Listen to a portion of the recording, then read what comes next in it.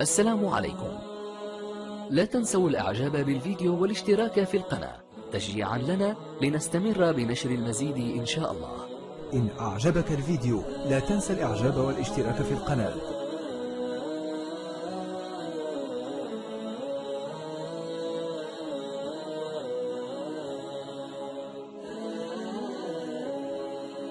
السلام عليكم. لا تنسوا الإعجاب بالفيديو والاشتراك في القناة. تشجيعا لنا لنستمر بنشر المزيد إن شاء الله. أهلا السلام عليكم. وعليكم السلام ورحمة الله وبركاته. أهلا فضل الأستاذ الدكتور طيب قريبان. أهلا بك خويا مصطفى يا مرحبا. ولا باس عليك بخير. الله يطول عمرك يا مولاي وأنا فرحان في هذه الليلة باش دير خطناك الله يحفظك. بارك الله فيك أخويا أعزك الله. الله يحفظك ونجيك أخويا الدكتور قريب الله يحفظك ونجيك. أعزك الله مولاي الله يطول عمرك. كنطلب منك سيد الاستاذ الله يحفظك تدعي معايا في هذه الليلة المباركه يا ربي. بيدو بالشفاء والفرج أنا والإخوان ديالي. يا إله الله إلا يرحم الله لك الوالدين. وبغيتك تدعي مع والدي راهم توفاو الله يرحمهم. يا رب. معهم بالرحمه والمغفرة. يا ربي يا كريم يا ربي يا كريم. الله يحفظك ونجيك جزاك الله خير. تنطلب من المستمعين الكرام الله يرحم والدين ادعوا معايا وقولوا آمين الله يحفظكم ونجيكم يا رحمن يا رحيم يا رب. يلا حياك الله. بارك الله فيك. السلام عليكم ورحمة الله. بارك الله فيك وعليكم السلام ورحمة الله وبركاته. أخونا سي مصطفى ذكرنا بكلمة آمين. ما معنى آمين؟ آمين معناها استجب. وكلمة آمين راهي عند المسلمين وعند اليهود وعند النصارى. اليهود لما يدعون دعاءهم يقولون إلهيم في ديبير يقولوا آمان وكذلك النصارى. إذا دعوا دعواتهم آه، ربنا ارزقنا خبزنا واحفظنا من الشرير وك... آمان كل الأديان يقولون آمين. ما معنى آمين؟ يعني اللهم استجب. وفي الحديث من وافق تأمينه تأمين الملائكة غفر له ما تقدم من ذنبه. اللي قال آمين والملائكة تيك تأمن خصوصا لما نكون في الصلاة ونقرأ الفاتحة. ونقول الحمد لله رب العالمين الرحمن الرحيم إلى قوله تعالى غير المغضوب عليهم ولا الضالين. آمين. ديك الساعة الملائكة تسمع هذا الكلام كتقول آمين. قال صلى الله عليه وسلم من وافق تأمينه تأمين الملائكة غفر له ما تقدم من ذنبه. يعني لما كتكون واحد الدعوة والملائكة في السماء تؤمن.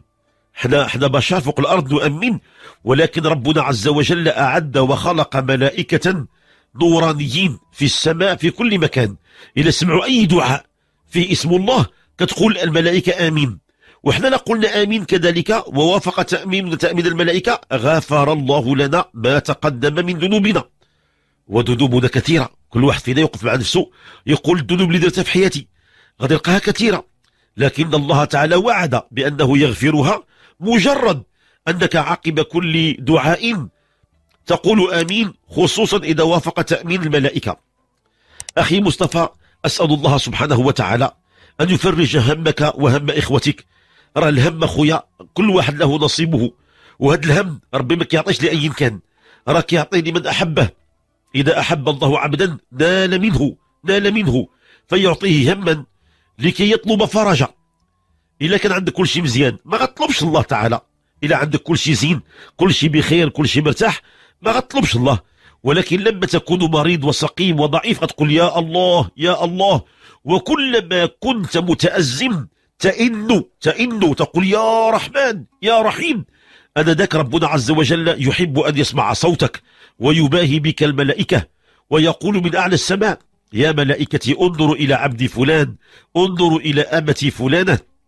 إنه يدعوني وإنه يلهج بحمدي ولم يرني لم يرني هو سمع بي وآمن بي ولم يرني فكيف إذا رآني؟ ملائكة كتعجب كتقول يا ربي لو رأوك لكانوا لك أشد ذكرى فيقول الله تعالى يا ملائكتي اشهدوا أني قد غفرت لهم وأسمغت عليهم رضاي. راه كرامات كناخذوها الأحباب. راه كل مرة الحمد لله اللي دازت علينا راه ربح. راه ما الخسارة. اللي خليتيها وانتفعتي بها؟ الله يربح. واللي ضاعت لك وعانيتي منها راه مخزونه. ونهار غتاخذها غتفرح. غتلقاها مثل جبال مكة وتهامة من الحسنات. أسأل الله الكريم المتعال لأخينا مصطفى أن يفرج همك وهم إخوتك وأن يشافيكم ويعافيكم ويداويكم وأسأل الله تعالى أن يرحم الوالدين وأن يسكنهم فسيح الجنات وأن يجعلهم في أعلى عليين مع النبيين والصديقين والشهداء والصالحين وحسن أولئك رفيقا وأن يرحم جميع المؤمنين والمؤمنات. قولوا معنا جميعا آمين. آمين آمين يا رب يا كريم. السلام عليكم. لا تنسوا الإعجاب بالفيديو والاشتراك في القناة. تشجيعا لنا لنستمر بنشر المزيد إن شاء الله.